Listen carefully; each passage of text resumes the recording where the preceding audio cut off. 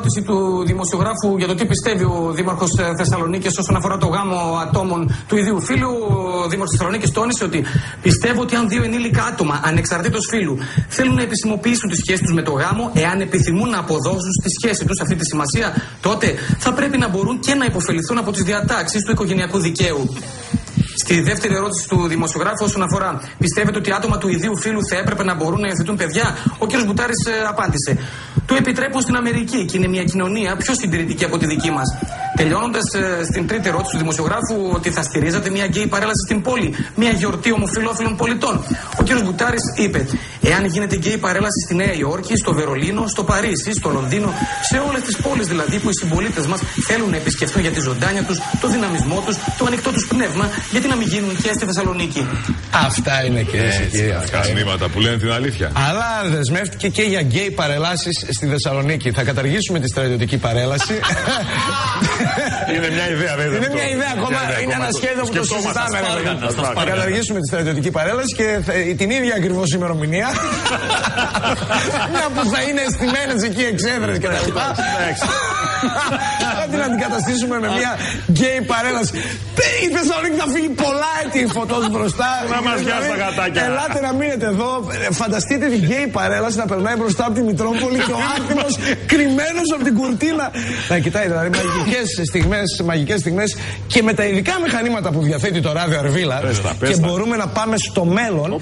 στο χρόνο. Η δημοτική τηλεόραση Θεσσαλονίκης, η οποία κάνει αντίστροφη μέτρηση εδώ και τρία χρόνια. Ναι. Η δημοτική τηλεόραση Θεσσαλονίκης πώς θα καλύπτεις στο μέλλον την γκέι παρέλαση που θα γίνεται στη Θεσσαλονίκη; Με απόλυτη επιτυχία πραγματοποιήθηκε σήμερα η πρώτη γκέι παρέλαση στη Θεσσαλονίκη με τιμόμενο πρόσωπο τον Δήμαρχο Θεσσαλονίκης κύριο Γιάννη Μπουτάρη. Ο Αρχιεπίσκοπος Θεσσαλονίκης Άνθιμος απουσίαζε λόγω προγραμματισμένης επίσημης επίσκεψης στο Πατριαρχείο Ανταρκτικής. Η παρέλαση ολοκληρώθηκε ομαλότατα και μετά το τέλος της, ο Περιφερειάρχης Κεντρικής Μακεδονίας κύριος Παναγιώτης Ψωμιάδης έστειλε μαγνητοσκοπημένο μήνυμα στα κανάλια. Η φετινή εκπληκτική παρέλαση είναι η καλύτερη απάντηση σε αυτά τα σκουριασμένα μυαλά. Η γκέι κοινότητα της πόλης έδωσε ραντεβού για του χρόνου για μια όπως υποσχέθηκε πιο φαντασμαγορική παρέλαση από τη φετινή.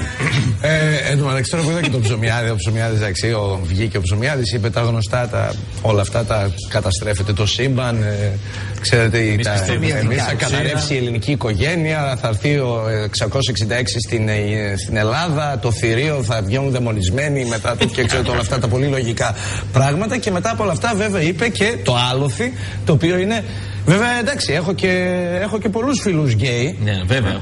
Αυτή η ατάκα το έχω και πολλούς φίλους γκέι που θεωρείται ότι είναι και καλά το gay friendly. Και έχω και πολλούς φίλους Αλβανούς. Αλβανούς, ναι. Δεν υπάρχει πιο ρατσιστική τοποθέτηση για ανθρώπους από το να λες: Έχω και πολλούς φίλους γκέι. Δηλαδή είναι σαν να λέμε να απαγορεύσουμε τα σκυλιά από τα νοσοκομεία να βγαίνει και να λέει ο Περιφερειακός. Βέβαια, εγώ αγαπάω τα σκυλιά, αλλά δεν είναι για να μπαίνουν στα νοσοκομεία τώρα τα σκυλιά για παράδειγμα. Είναι ακριβώς η ίδια λογική. Ε, σχετικά με το θέμα αυτό. Ε, ε, μου δόθηκε ευκαιρία από το www.εχμή.gr για τους γάμους των ομοφιλοφίλων δηλαδή ειδικά.